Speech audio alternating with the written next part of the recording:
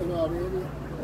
So we stood outside Goodison Park with a wheelie bin and we collected more chip papers and empty beer bottles than we did food.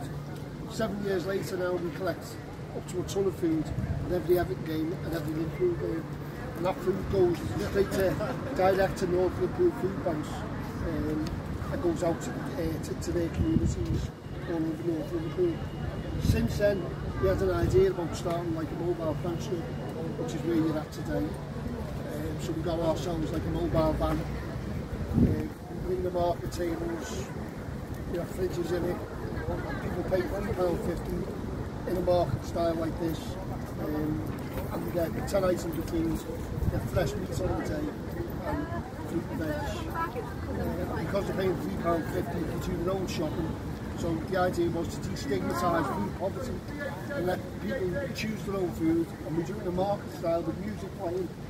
And then Jayne, as part of Dead Pigeon Society, kindly decided to run art classes, which is what you do today, which is a great success, um, to, to, to, to add to the whole country experience. Um, so that's why we're all here today. So She's having a good thing now. She has had me modelling in the past. I have had him modelling. I've stopped doing it because she makes me keep my clothes on. so I'm not doing it And do you know what? You you managed to do that without swearing. What? You managed to do that without swearing as well. True as well. I didn't have a nice swore once. No, don't don't ruin it You must now. be over. Oh, shucks. Right, here's a, here's a badge for you all, all right? Oh, thanks, Robbie. Just so you've all got one. Got all right, my mate. There's one for you. There's one for you, Tar. There's